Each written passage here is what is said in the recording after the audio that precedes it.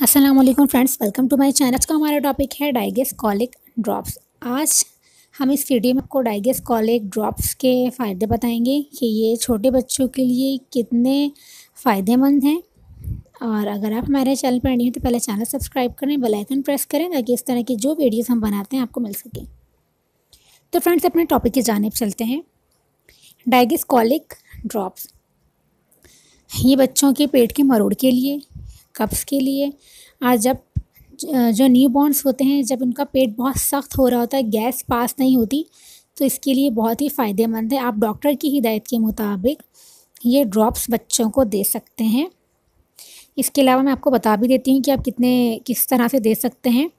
जो छोटे बच्चे हैं न्यू बॉर्न से लेके छः महीने तक के, आप उनको दो से छः ड्रॉप्स दे सकते हैं, लेकिन डॉक्टर की हिदायत के मुताबिक दूध पीने के से पंद्रह मिनट बाद आप दे सकते हैं, दिन में दो बार।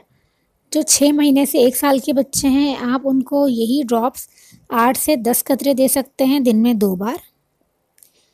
और इसके अलावा जो थोड़े बड़े बच्चे हैं, एक साल से तीन साल की उम्र तक के, आप उनको पंद्रह से तीस ड्रॉप्स दे सकते हैं, दिन में दो बार। लेकिन इतने बड़े बच्चों के लिए तो बहुत सारे हम और भी मेडिसिन यूज़ कर सकते हैं। लेकिन डॉक्टर की हिदायत के मुताबिक आपको यूज़ करनी है। ये डाइगेस जो है कॉलिक ड्रॉप इसके कोई भी साइड इफ़ेक्ट्स नहीं है। आपके बच्चे को कोई साइड इफ़ेक्ट्स नहीं होगा।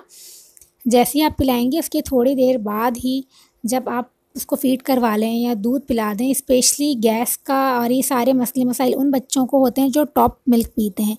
जो फार्मूला मिल्क पीते हैं, उनमें ये बहुत ज़्यादा कॉमन है प्रॉब्लम। स्पेशली उन बच्चों के साथ भी मसला होता है, जब बच्चा नया नया पैदा होता है तो वो हाथ अकड़ा के रोता है, पेट सख्त कर लेता है अपना। और उसमें भी ये मसले मसाइल होते हैं कि पेट या पेट साफ़ नहीं हो रहा होता। तो आप उस वक्त भी ये दे सकते हैं, ड्रॉप लेके डॉक्टर की हिदायत के मुताबिक, जिस तरह से डॉक्टर हिदायत दें।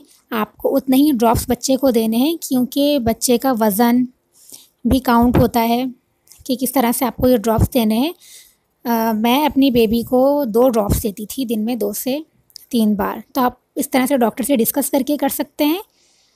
और इसको ज़रूर यूज़ कीजिए। Thank you.